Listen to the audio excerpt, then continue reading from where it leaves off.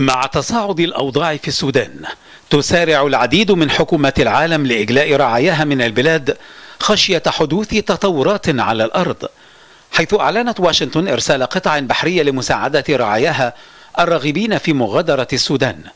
وأوضح المتحدث باسم البيت الأبيض أن الولايات المتحدة تعد لإرسال قطع من الأسطول الأمريكي لتقديم المساعدة اللازمة للأمريكيين المحتاجين للدعم.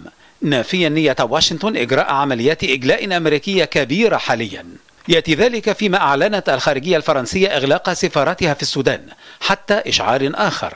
مؤكدة أن السفارة ستواصل أنشطتها من باريس تحت مسؤولية سفيرة فرنسا بالخرطوم.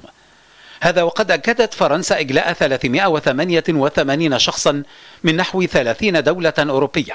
كذلك نقلهم بواسطة الجيش الفرنسي إلى جيبوتي على أربع دفعات.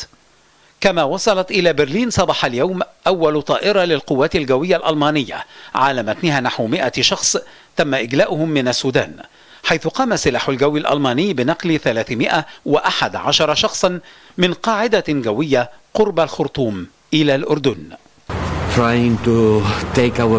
لقد غادر أكثر من ألف من رعايا الاتحاد الأوروبي بالسودان في عمليات إجلاء معقدة كما غادر 21 دبلوماسيا من بعثة الأمم المتحدة الخرطوم وتم نقل سفير الاتحاد الأوروبي من الخرطوم إلى منطقة أخرى بالسودان.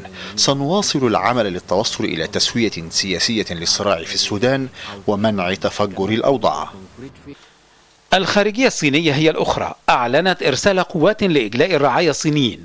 حيث تم إجلاء مجموعة من الصينيين من السودان إلى دول مجاورة. وعلى قدر خطورة الموقف تسارع دول العالم ودول جوار السودان لاحتواء التوتر على الأرض وإغاثة وتأمين المدنيين الفارين من القتال الدائري في السودان.